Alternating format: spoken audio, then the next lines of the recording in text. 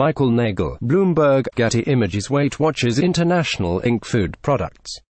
Weight Watchers is attracting the scorn of social media users for offering teenagers free memberships as part of a new corporate strategy.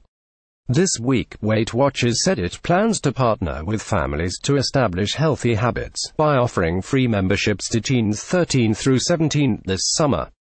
The company plans to help the development of healthy habits at a critical life stage, it announced on Wednesday in a press release. Teens will be required to attend meetings with a parent or guardian who will provide consent. Weight Watchers said it will share more specific criteria and guidelines when it launches the program. The move mirrors a trend in the health and wellness industry toward overall wellness as people shun diets.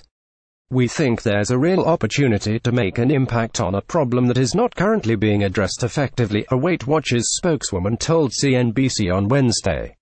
Yet some people were not convinced, and they accused Weight Watchers of preying on youngsters who could develop unhealthy habits and body image. Tweet one in a statement, the National Eating Disorders Association said it was very concerned about Weight Watchers promotion, because 35% of normal dieters can develop disordered eating and teens are at an especially vulnerable stage of life. Tweet two half of teenage girls and one third of teenage boys use dangerous weight control methods, such as smoking, laxative abuse, and skipping meals in an attempt attempt to meet unrealistic body ideals, a spokeswoman said. We hope Weight Watchers acknowledges the risk and implements steps to screen for potential early signs of disordered eating and provides information on resources to find help, she added. Those criticisms were echoed by other health advocates, who say encouraging teens to count calories and diet is dangerous. Tomi Akanbi, clinical nutrition coordinator at the Mount Sinai Adolescent Health Center, sees patients who adopt their parents' weight loss plans without realizing that teens need to eat certain foods to help them grow. Our decision to open our program to teens, with the consent of a parent or guardian, is driven by a family-based approach, Weight Watchers said in a statement provided to CNBC. This is not about encouraging dieting, but rather helping teens to form healthy habits at this critical life stage.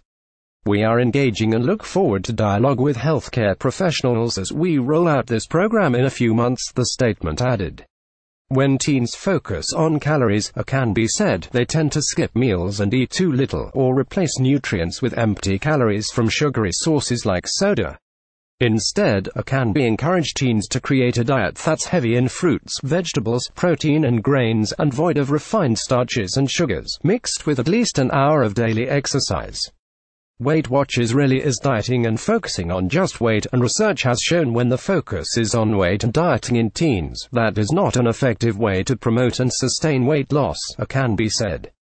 It's not even helpful to promote overall wellness, because we're also talking about body image and how these kids are experiencing themselves and food and their bodies, and dieting does not help with that, she added.